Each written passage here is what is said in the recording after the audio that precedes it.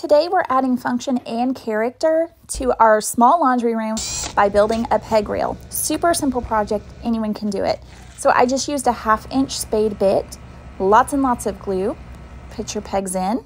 It should be a nice tight fit, make sure it's not leaning. Then I flipped the board over and I added more glue. Battery is dead. My nail gun just loves to play tricks on me every single project. All right, so next we put in the peg rail. Make sure that you mark your studs on the board. Again, always know where your nail is going. It's so cute. Next, I add a shelf, so follow along.